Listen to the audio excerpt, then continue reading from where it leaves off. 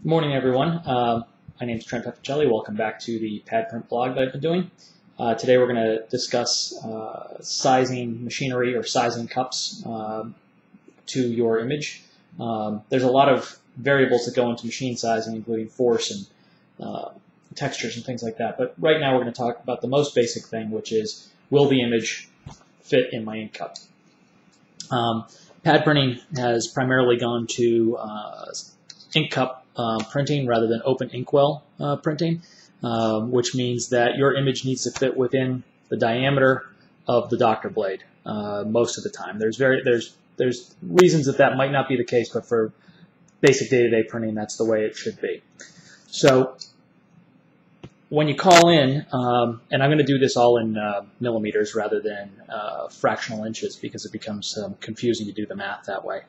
Uh, but when you call in and say, I've got this image. Um, it's, you know, uh, about 25 millimeters tall by about 55 millimeters wide. I'm going to ask you some questions. I'm going to ask you to be more specific about it. I need to know exactly how tall and exactly how wide it is. Um, let's say it was a square image. Let's say it's it's it's uh, 90 by 90 millimeters, and I've got a 90 millimeter ink cup. Well, it sounds like that ought to fit in there. The problem with that is, is that it's square. A 90 by 90 is square, and we need to figure out what fits inside the circle.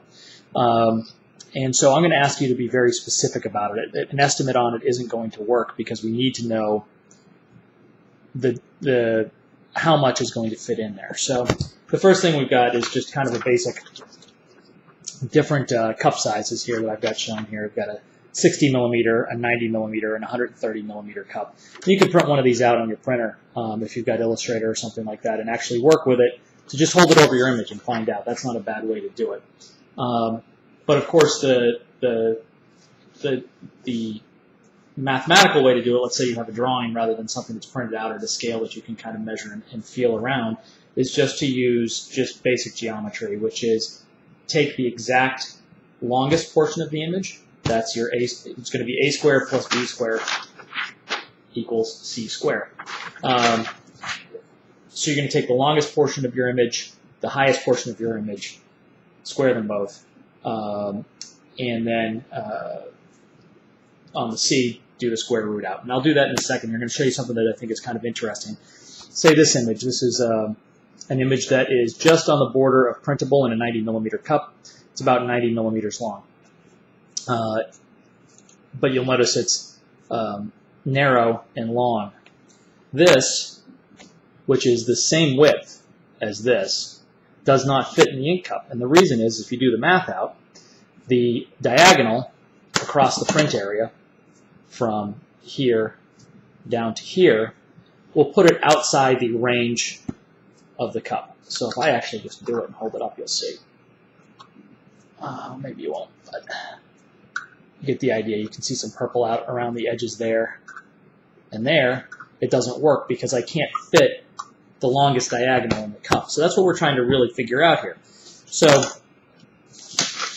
on this one, I just did the math real quick.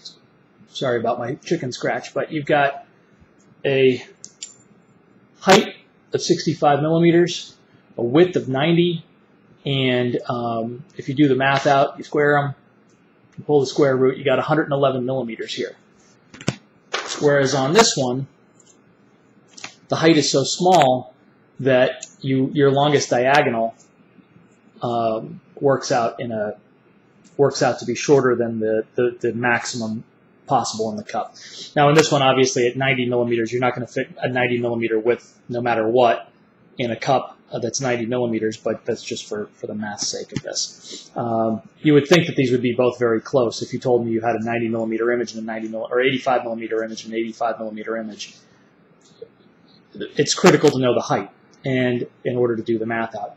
But the easiest way, really the easiest way if you have a part, is simply just take the longest diagonal. So you're just going to take your your ruler and find the two furthest corners away, whatever that happens to be. It could be in the middle of the image. Um, and this one, you know, actually it's up high, and then it goes down to the far edge, uh, like that. And you've got a width here. So check to see what's widest, check to see what's tallest, and then check to see the combination, the longest diagonal. Well, when I when I talk to you on the phone or when I talk to someone on the phone, I'm always asking what the longest diagonal is. And what I mean by that is really take the image, take a ruler, and simply go all the way across it to find out exactly how far it is. And that's going to give you your longest diagonal.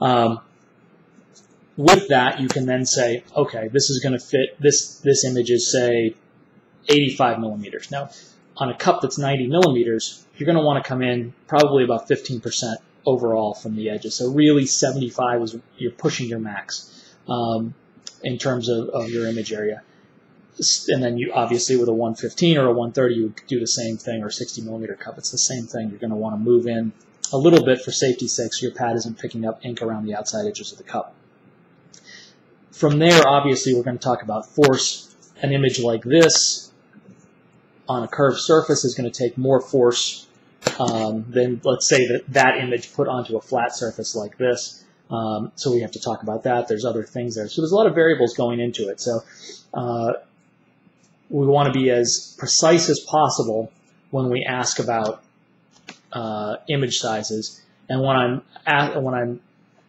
asking for complete detail on what you're doing, it's because I want to protect you in terms of the size of the the, uh, the project. Next thing I'm going to talk about, uh, which will be in the next one, which I'm going to film in 30 seconds, is about printing about printing around circumferences and trying to figure out what's rational talk about that in a few minutes, and uh, hopefully you'll watch them back to back, and I'll talk to you soon.